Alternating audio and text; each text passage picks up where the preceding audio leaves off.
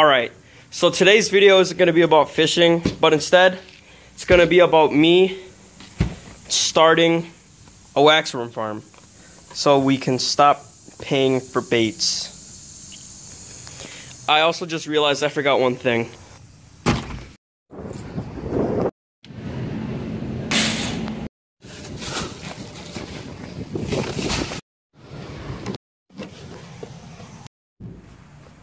All right. So I got the the three things that I needed: honey, oatmeal, and bran. We don't need the raisins. I'm gonna have to take those out, and wax worms, and the box. So now, what you want to do is first you want to get all this these nice oats in here. These nice oats. All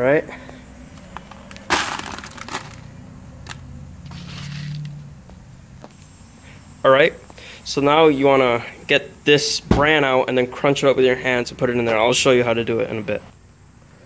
All right, so you got your bran. You just crunch it up and sprinkle it in. You're gonna want to do this a lot of times. I think I might grab a smaller box in a bit. So after you've done all that, you want to take your honey and just just put it around because this is kind of like a their water source and I forgot to mention why I'm doing this.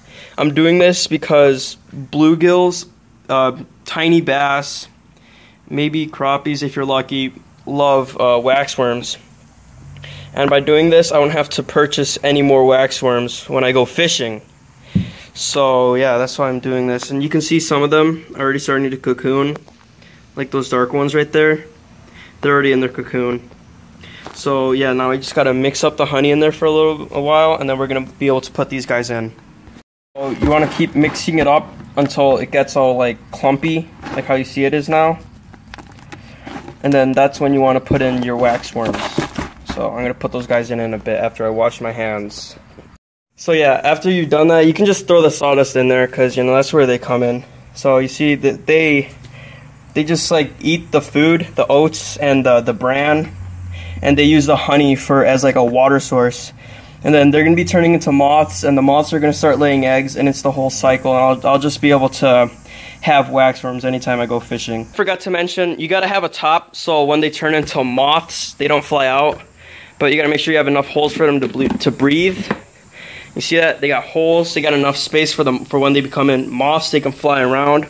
It's to be great. I'm to do uh, weekly updates or something. There's to be updates, I can tell you that. All right. Uh, see you guys next time.